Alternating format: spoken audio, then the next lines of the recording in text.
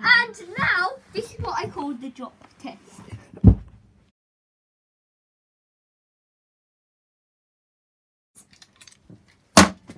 Ow!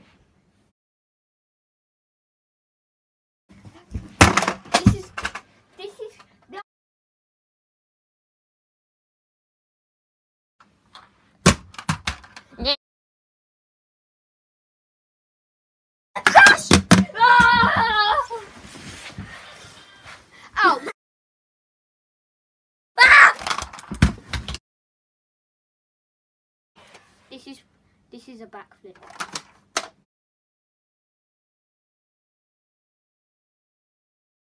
Yeah.